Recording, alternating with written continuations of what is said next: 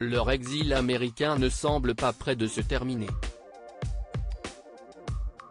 Alors que le prince Harry a séjourné à plusieurs reprises sur le sol britannique ces derniers mois, il semble peu probable que les Sussex traversent à nouveau l'Atlantique de sitôt. Pour le Télégraphe, une source proche de la couronne a confié ce samedi 25 juin, avec la mort de la reine, puis avec le couronnement, Harry avait une raison institutionnelle de se rendre à Londres.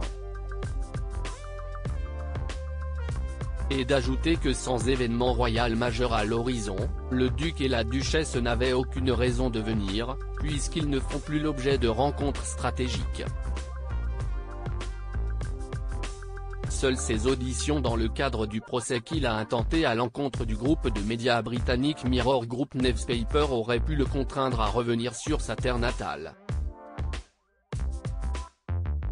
Mais des sources proches du fils cadet du roi Charles III ont assuré au quotidien britannique qu'il était peu probable qu'il fasse une autre comparution à la haute cour de Londres de sitôt. De surcroît, le père d'Archie et de Lily Ben n'a visiblement aucune envie d'arranger la situation avec le souverain et le prince William. Une position qui semble partagée par ces deux hommes de sa famille. En effet, lorsqu'il s'est rendu à Londres pour assister au procès, aucune rencontre avec des membres de la couronne n'avait été organisée. Une réconciliation impossible Déjà, lors du couronnement de son père qui s'est tenu au sein de l'abbaye de Westminster le 6 mai dernier, Harry n'avait fait le déplacement, seul, que pour la cérémonie.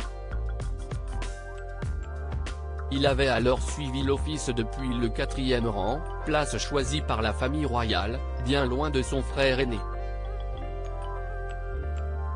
Quelques heures plus tard, il s'était déjà envolé pour Montequito, afin de rejoindre sa famille et de célébrer le quatrième anniversaire de son petit garçon.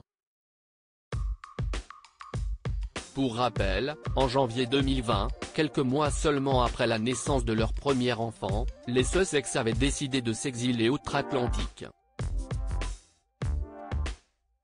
Un an plus tard, le prince Harry avait sonné le glas de sa relation avec sa famille, lorsqu'il avait tenu des propos chocs sur le plateau d'Oprah Winfrey, aux côtés de la star de la série Suits, au sujet de son père et de son frère.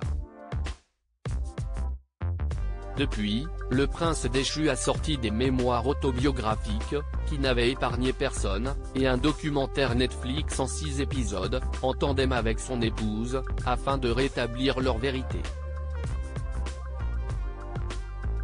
Article écrit en collaboration avec 6 médias.